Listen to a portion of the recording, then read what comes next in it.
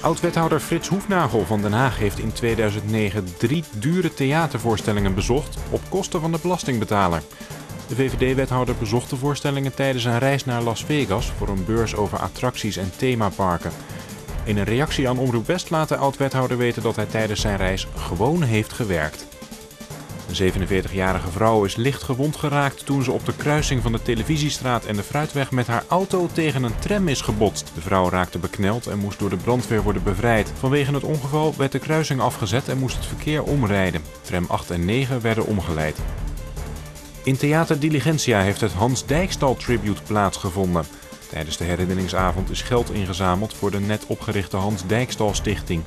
Doel van deze stichting is jongeren in achterstandswijken een kans geven zich te ontwikkelen in de muziek.